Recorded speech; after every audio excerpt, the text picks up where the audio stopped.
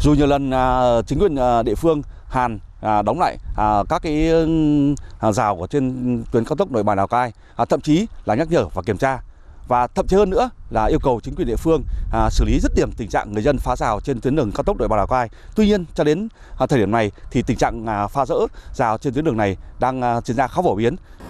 Mặc dù tuyến cao tốc Nội Bài Lào Cai đã đưa vào sử dụng được 4 năm, nhưng cho đến thời điểm này, nhiều đoạn trên cao tốc, đặc biệt là từ Yên Bái đến Lào Cai, nhiều tấm tôn lượn sóng cũng như hàng rào B40 ngăn cách khu dân cư với tuyến cao tốc bị tháo rỡ. Theo một hộ dân sống trên đoạn hàng rào bị phá rỡ cho biết, do không có đường gom cho nên dân bắt buộc phải dỡ bỏ hàng rào để thuận tiện cho việc đi lại.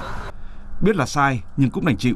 Tôi biết là đi lại trên đường cao tốc rất là nguy hiểm đến ờ, tính mạng con người thế nhưng mà uh, uh, uh, bản thân gia đình nhà tôi ở đây là có mỗi một miếng đất đây để gọi là làm ăn sinh sống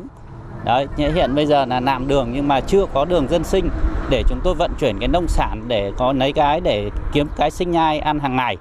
tuy nhiên qua tìm hiểu thì những hộ gia đình có khu đồi canh tác sau khi đường cao tốc hoàn thành thì người dân đã tự ý xây dựng nhà cửa cạnh tuyến cao tốc để kinh doanh và buôn bán. Cứ mỗi lần người dân phá rào xong, chúng tôi lại tổ chức cho rào lại, nhưng mà rào lại xong thì đến tối người ta lại cho phá ra. Cái việc này ấy, thì giữa chúng tôi với lực lượng cảnh sát giao thông C67 đã thường xuyên phối hợp với nhau để xử lý những cái trường hợp xe dừng đỗ cũng như là tuyên truyền vận động bà con coi đừng phá rào và đừng kinh doanh ra ngoài đường cao tốc nhưng việc này rất là khó khăn